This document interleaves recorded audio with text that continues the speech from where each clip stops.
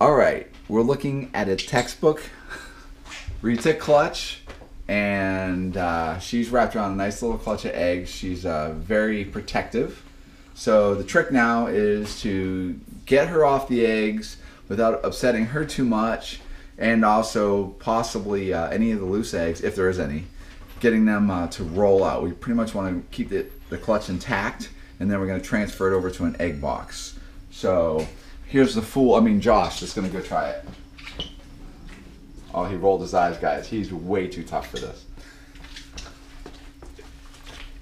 Good mom.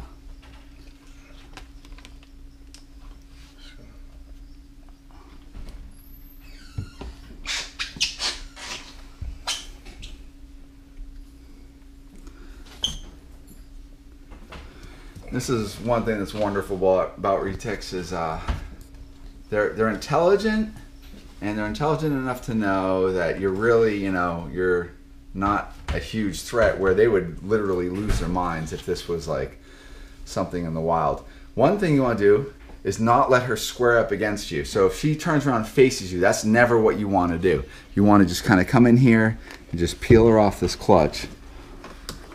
I'm getting my hand in here. Let's see if you can.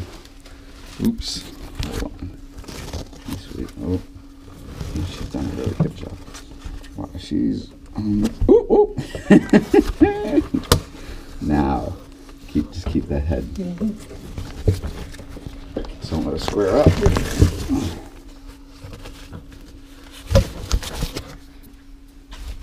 Here we go. That's pretty good. I don't see anything in there. It's a perfect clutch of eggs.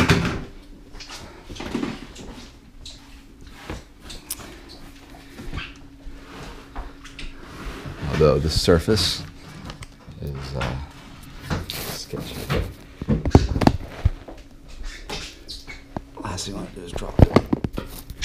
This is a really good looking clutch of eggs for sure. I mean, picture perfect.